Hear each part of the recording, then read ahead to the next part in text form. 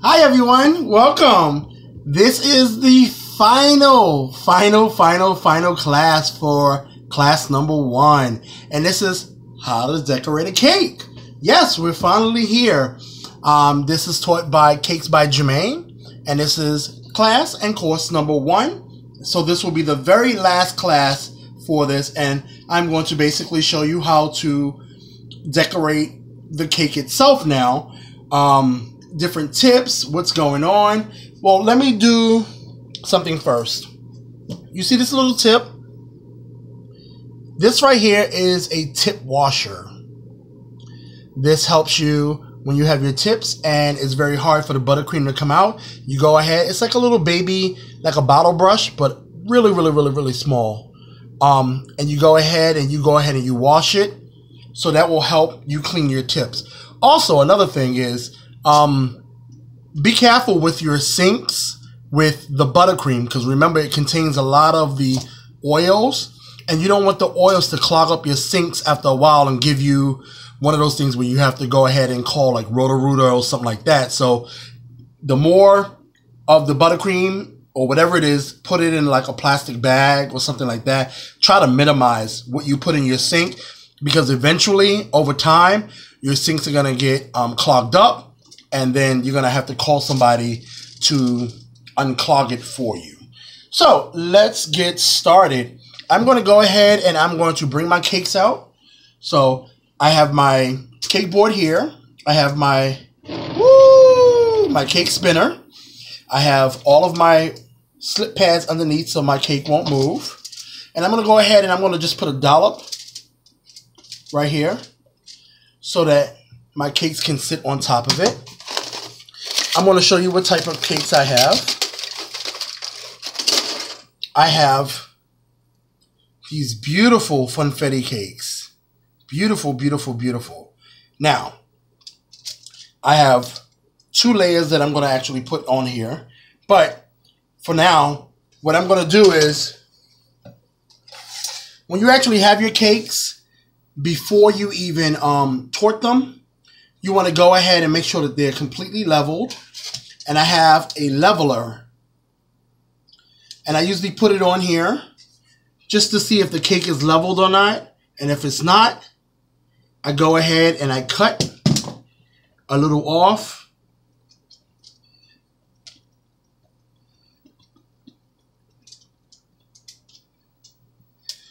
Just to make sure that it's leveled.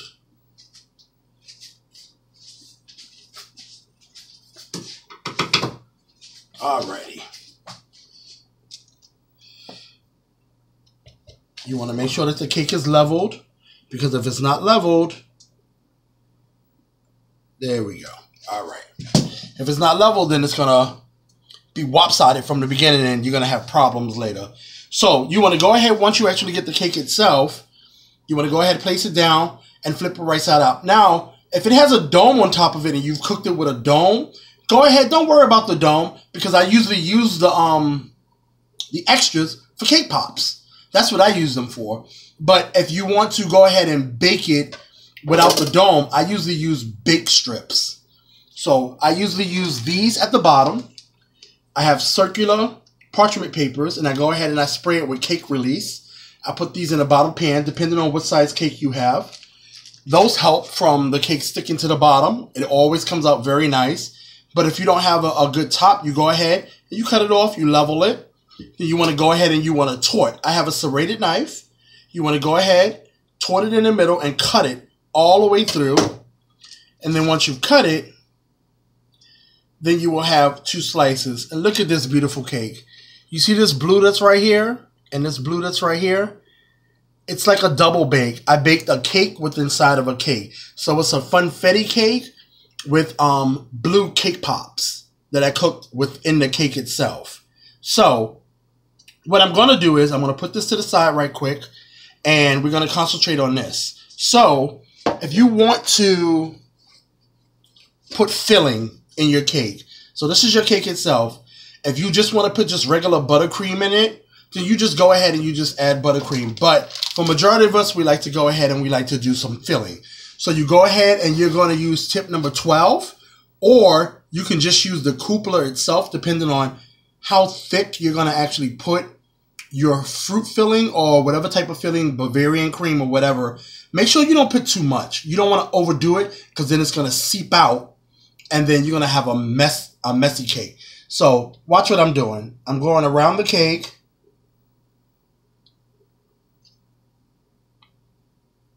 I'm building a dam. And basically that's it. You're building a dam right here. And the dam is basically to prevent all of the whatever type of fillings you have from coming out. So I'm going to go ahead and just basically finish this. And I'm going to take a spatula.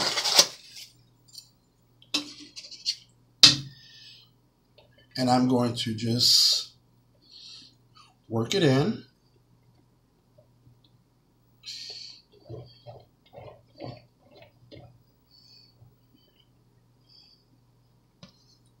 Okay, and I'm going to go ahead and I'm going to put the top piece back on.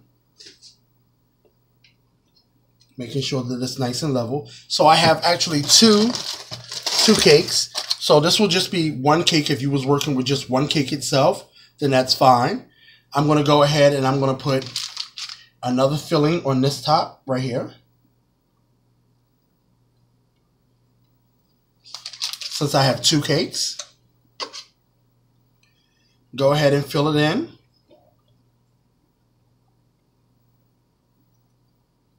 Again, you don't want too much filling. You don't want too, too much. Because when you have too much filling, your filling starts to seep out and then it starts causing a problem. So again, I have another cake here. Very, very delicious cake. I actually take all of my cakes and I use simple syrup with them. So go ahead. You want to eyeball it. See if it's leveled.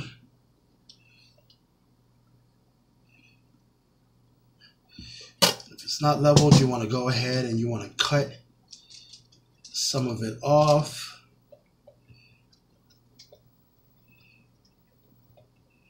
Just go ahead and eyeball it just a little bit. Cut some of it off. Make sure that it's leveled. You want to make sure that your cake is leveled.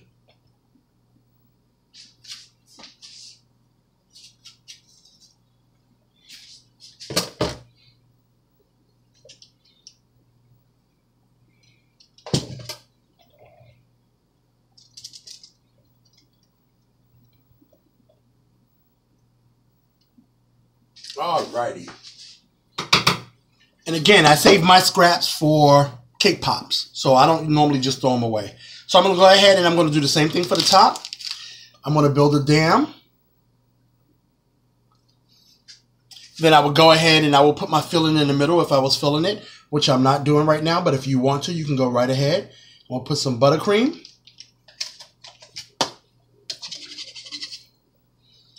And I'm going to go ahead and I'm going to just smooth my buttercream around. I don't want too much, so I don't want it to be excessive. Go ahead and fill it.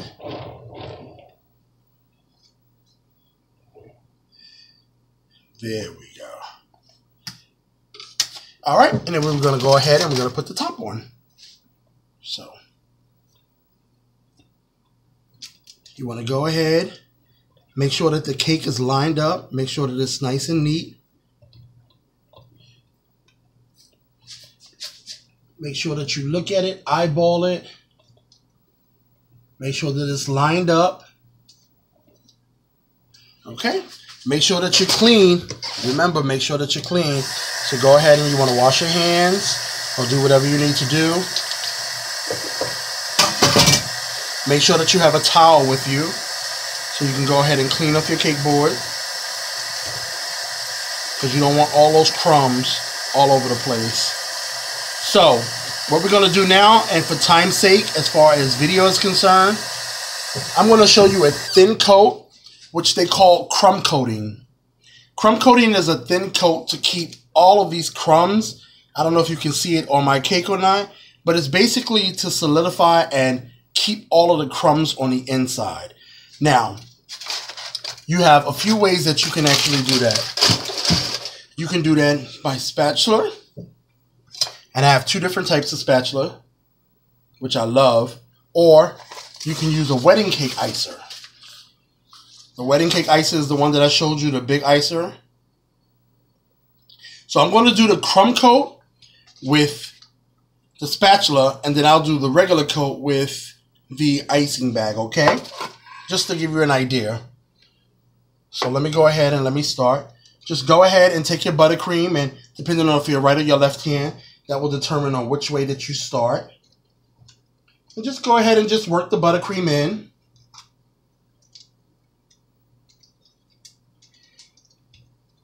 Making sure that you fill in all those crevices, all of those holes. And remember, this is just a crumb coat, so it does not have to be thick.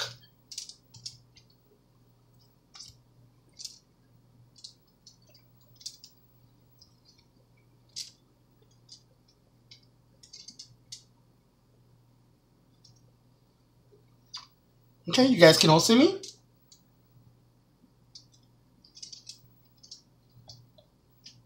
Just go ahead and just work it all the way around. Work it all the way around. Make sure you get all of the empty spaces. Make sure that you get the bottom. Get the bottom. Remember, it doesn't have to be a thick coat. Now, once you've gone all the way around the cake, go around one more time just to see if you have any any spaces. Again, this is a crumb coat. And then once you have it, you want to go around it one quick time.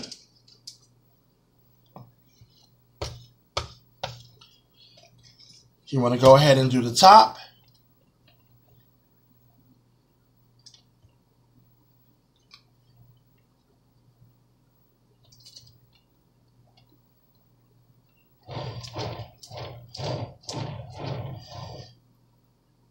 Again, remember this is just crumb coat. So it can be a very thin layer. It's going to be just as thin as you doing a naked cake. So later on in the near future, if you're ever doing a naked cake, it's going to probably be the same type of consistency. So you want to go ahead and you want to get a scraper at this point. Any type of scraper that you're going to use. And then you want to go ahead and just basically scrape around the cake.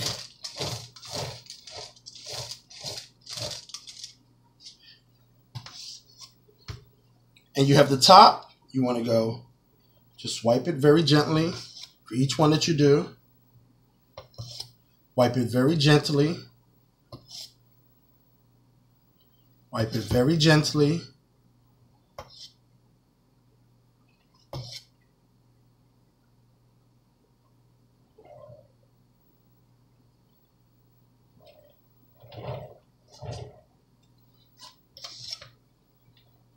Very gently.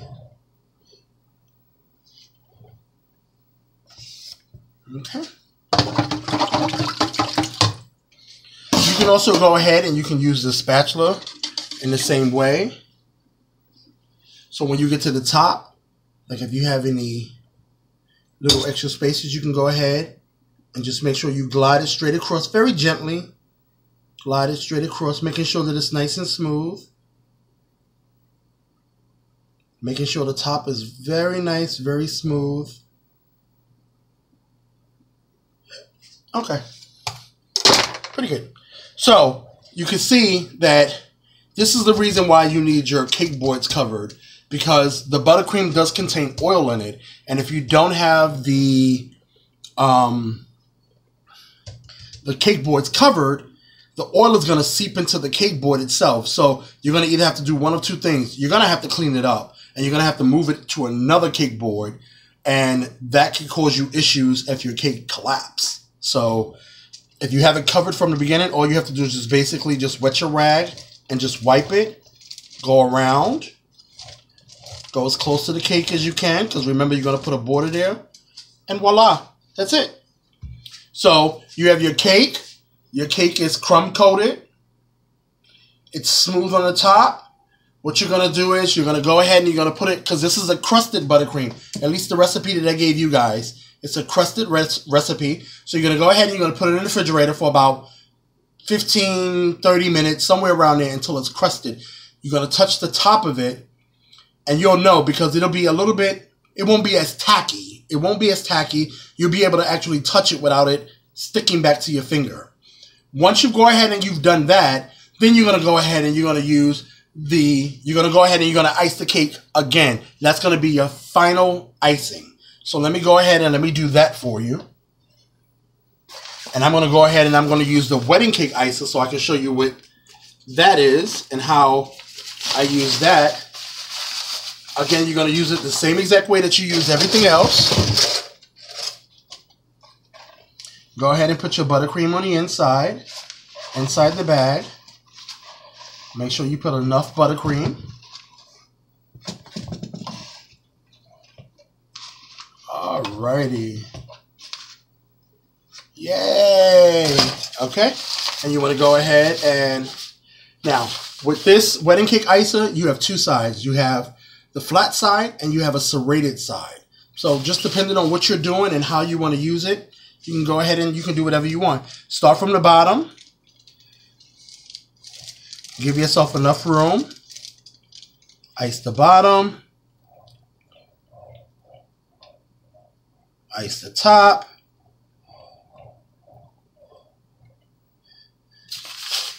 Again, make sure that you have enough.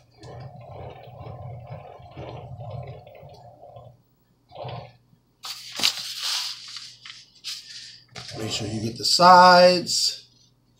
So again, it doesn't matter if it's perfect right now. Because you're going to go ahead and you're going to add some more buttercream if you need to. All right, so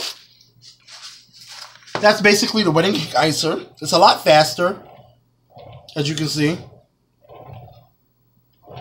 So we're going to go ahead and we're going to use, once again, our cake smoother. And I have right on the side of me some warm water because that normally helps. You want to go ahead, use your scraper, and again, go all the way around.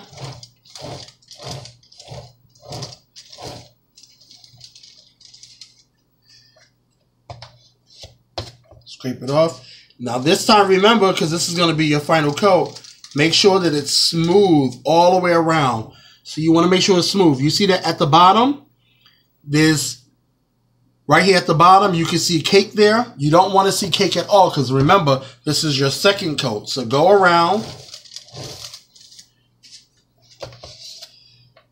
And you want to go ahead and you want to take some buttercream and you want to make it a little bit thicker in those areas. Take some more buttercream, make it thicker. It's okay. Make it thicker. This part you should take your time on because if you don't do this part right, the rest of your cake is going to be a mess.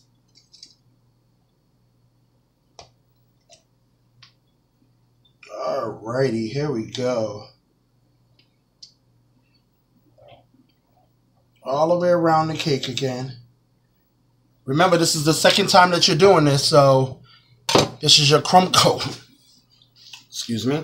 Your crumb coat is over, and now you're finalizing your cake. So they do have other contraptions like to do your cakes a little bit easier, but I like to do it this way because it's just the way that I know how to do it.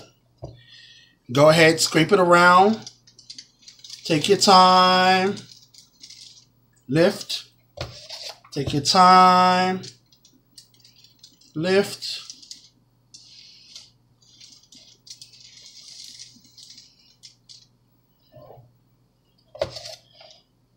Alrighty. Come up to the top. Take your time. See how that just fell off? Go ahead and scrape it off. Take your time. Scrape it across. Take your time.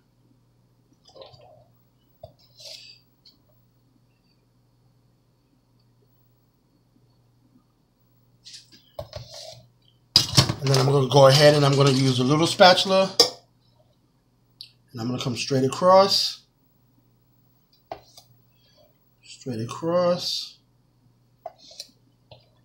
Straight across. Just take your time. There's no rush. But you want to make sure that the top is as smooth and as flat as possible. So if that means that you need to scrape off more buttercream, then so be it. Go ahead and scrape it off. If you need to add some water, some hot water, just to make sure that it's smooth, go right ahead. Do what you got to do to make sure that it's smooth.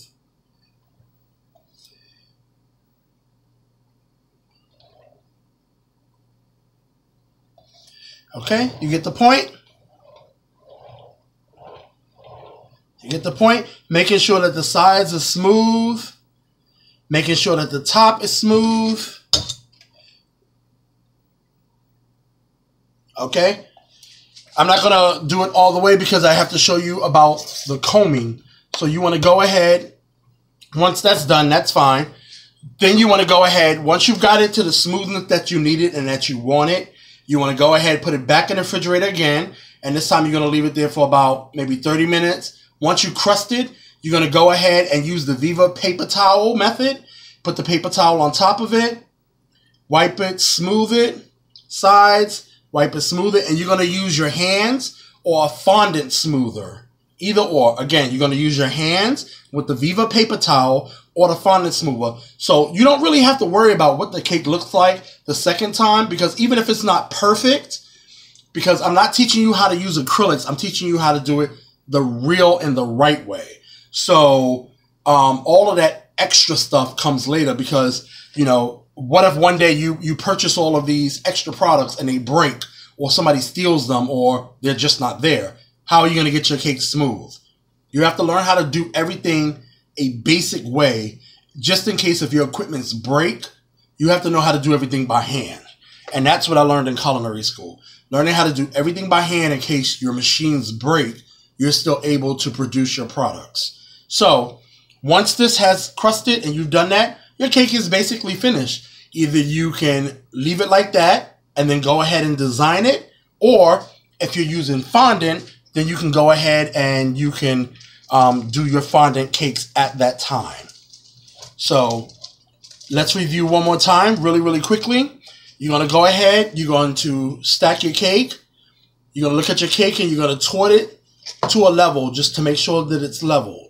Once it's go once it's leveled, then you can go ahead, if you're going to fill the cake, you can go ahead and make a dam. Go ahead and fill it. Once you go ahead and fill it, you go ahead and put the second topping back on it. Then go ahead and you just keep going up and keep going up. And then making sure that your cake is nice and leveled all the way around. Okay? So also come down eye level, making sure that you can look at it and see it, making sure that everything looks eye level to you and if it does look eye level, then you go ahead and you start smoothing your cake out. Start putting your buttercream, start smoothing it, crumb coat, refrigerator, 15, 20 minutes. Bring it back out again. You do your full coat. Your next coat should be a little bit thicker. Crumbs will, will seep in there. And then you go ahead and you smooth your cakes. So now that we've gotten that all done, we're going to do the next step, which is cake combs. So you have a variety of cake combs here. So depending on what kind of design you want, will determine what kind of comb you use. I'm going to use this comb right now. You're going to go ahead and you're going to just put the comb in here inside the buttercream and just basically just turn it. Try to give it one continuous turn. Just like that. See? Try to give it one continuous turn. If you could do it in one shot, great. Go back push up on the top or whatever it is that you need to refine. Perfect. Look at that. I really like that. That design is really pretty. Look at that. Wow. That's a really pretty design. Really, really pretty. I'm going to go ahead and I'm going to do the top too. Really nice.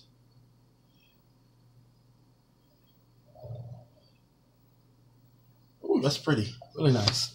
So basically, when you have combs, you know, this is a, a great way to do celebration cakes for children or even weddings. They're really, really pretty. Making sure that you have to make sure, though, that you have a lot of buttercream on your cakes because once you use the comb, the comb is basically going to be scraping away the buttercream off your cake.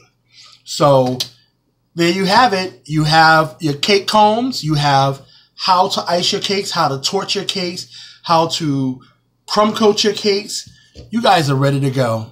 And I hope that I have done a little bit of justice, just a little bit, to help you on your way to becoming a better cake decorator. Mwah. Enjoy your night. Bye bye.